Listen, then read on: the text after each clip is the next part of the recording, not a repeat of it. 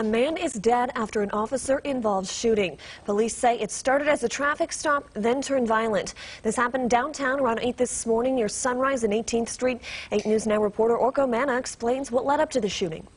I see shootings happening all the time. A scary situation Saturday morning. Metro Police killed a man who they say attacked an officer near downtown Las Vegas. This local thankful he waited to come to the area. I was going to go to this store to buy a pack of cigarettes literally a minute or two before. I was working the night of the strip shooting, and I prevented two people from going to that. So I just felt like, you know, karma came back to me and you know, I was blessed with a, a, good guardian angel. Police say the man who was shot was driving extremely fast near Sunrise and 18th Street. An officer pulled him over, but the situation escalated when he got out of the car. The subject began reaching for a large, bulky item on his waistband.